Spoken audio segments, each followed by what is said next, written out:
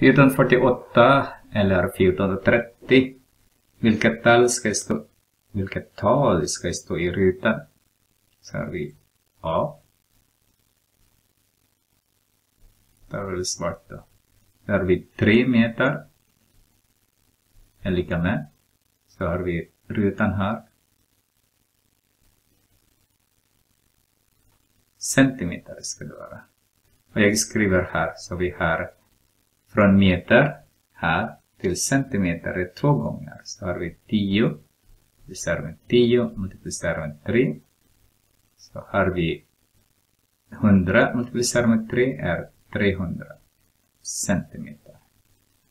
Ska vi ta B. Här har vi 2 centimeter. Sen ruta till millimeter.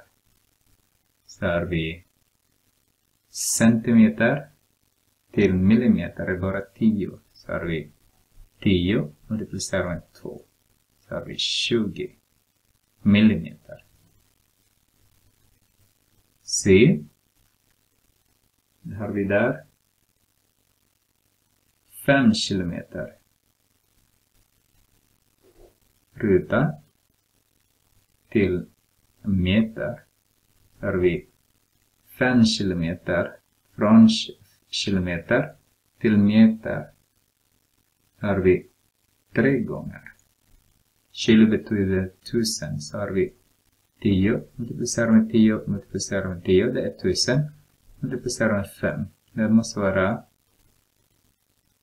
5000 meter. D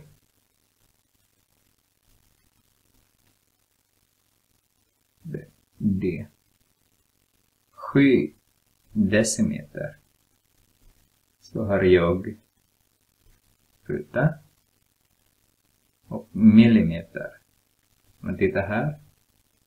Decimeter, millimeter. Här är två stycken. Där. Så har jag 10. Blev det rött? 10 multiplicerar med 10. Jag vet inte varför det blev det svart, men det är inte rätt multiplicerar med 7. Så 100 multiplicerar med 7, det måste vara 700 millimeter.